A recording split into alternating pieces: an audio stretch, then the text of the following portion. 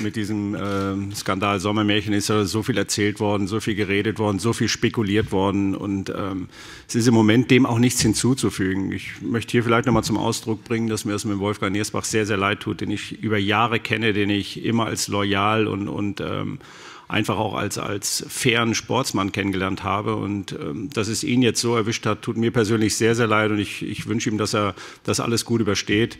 Zu den anderen Themen, es wird so viel spekuliert, auch von den Medien. Dinge werden vermischt und hin und her geschoben und deshalb gibt es im Moment von meiner Seite aus da auch nicht mehr dazu zu sagen. Ich hoffe nur, dass das Thema möglichst schnell dann alles aufgeklärt wird und dass dann auch endlich mal wieder Ruhe einkehrt. Ich bin froh, dass wir jetzt Freitag ein Fußballspiel haben, dass sich mal wieder ein bisschen mehr um den runden Ball dreht.